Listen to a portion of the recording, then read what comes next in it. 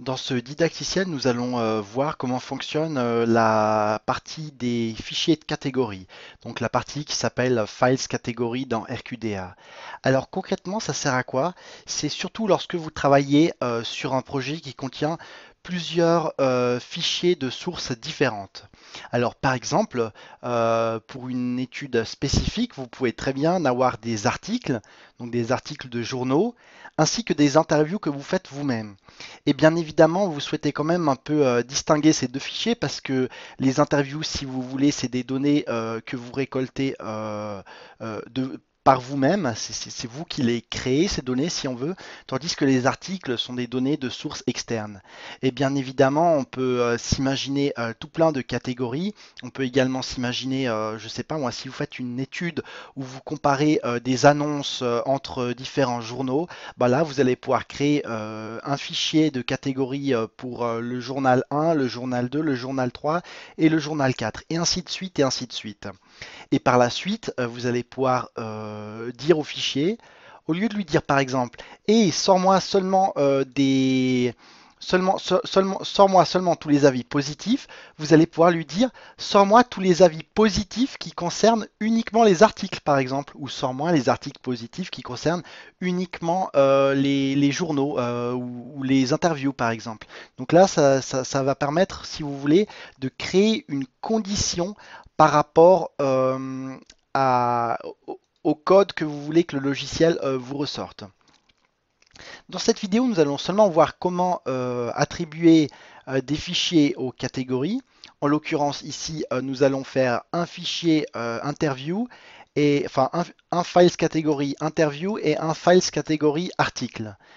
Et euh, dans la vidéo prochaine, euh, dans la vidéo suivante, nous allons regarder euh, comment utiliser justement les, conditions pour, pour ressortir par exemple uniquement les avis positifs des articles ou des interviews. Alors, je vais me diriger tout simplement vers le Files catégorie et là, je vais ajouter deux catégories. Alors pour ajouter, c'est très simple, il suffit d'aller sur Add et je vais ajouter la catégorie qui s'appelle Interview. Voilà.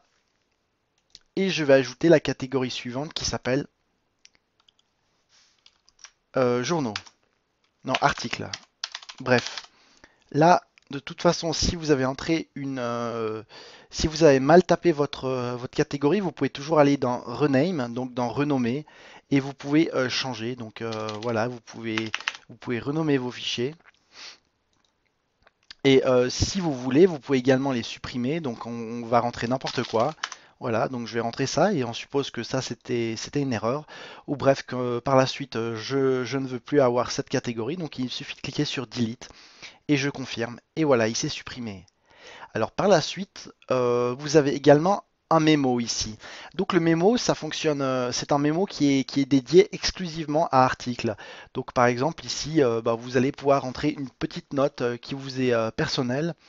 Euh, donc euh, vous rentrez exactement ce que vous voulez. J'ai déjà fait euh, pas mal de petits commentaires sur les mémos pour les, pour les, pour les mémos de projet, les mémos de fichiers, les mémos de code et ainsi de suite. Donc je pense que vous avez bien compris l'idée des mémos. Donc encore une fois, ça c'est un mémo qui est dédié exclusivement à la catégorie en question. et libre à vous de les utiliser ou pas.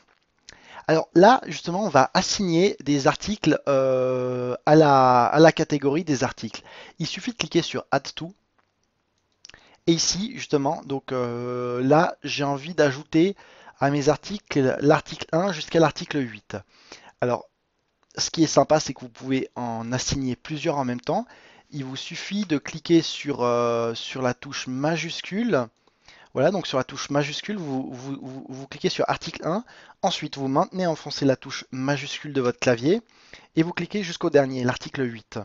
Voilà.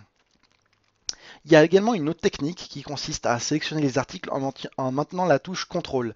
Donc par exemple, vous maintenez la touche contrôle, vous sélectionnez les articles qui vous plaisent en maintenant euh, la touche contrôle et une fois que c'est fini, ben, vous pouvez euh, relâcher la touche contrôle et cliquer sur OK. Donc voilà, donc la touche contrôle est très utile si euh, il n'y a pas une, suite logique entre les, fichiers, donc s'ils sont très éparpillés euh, dans, vos fichiers. Alors pour ma part, je, clique sur article 1, je maintiens la touche euh, majuscule enfoncée, Je clique, euh, sur article 8 et je relâche tout. Voilà. Et je clique sur OK. Et je vais faire de même pour euh, le fichier interview. Donc le files catégorie interview. Je vais cliquer sur Add to. Je clique sur INT1, je maintiens la touche euh, majuscule enfoncée, je clique sur INT6, ça me sélectionne tout ce que j'ai voulu, et ensuite je relâche la touche majuscule et je clique sur OK. Voilà, donc ici on voit que euh, tous, les fichiers des, articles euh, sont mentionnés ci-dessous et tous les fichiers des interviews sont mentionnés ci-dessous. Si vous avez fait une erreur, donc on suppose par exemple que si euh, si vous avez fait une erreur, donc si par exemple ce fichier ne faisait pas partie des interviews, bah, il vous suffit de, cliquer sur Drop From. Donc euh, vous allez cliquer ici, vous confirmez. Et ici, euh, ici on a bien supprimé justement le, le fichier INT06 de la, de la catégorie article. Et puis vous pouvez en supprimer plusieurs en maintenant la touche CTRL enfoncée, voilà. Ou sinon, vous pouvez également euh, maintenir la touche majuscule enfoncée et supprimer euh, plusieurs fichiers en même temps. Voilà, alors je vais juste euh, remettre ça sur, sur les interviews. Donc, dans un interview, il y a bien les, les six interviews. Et voilà, je vous invite à consulter la vidéo suivante pour savoir comment utiliser des conditions pour, pour les codes en fait. Merci.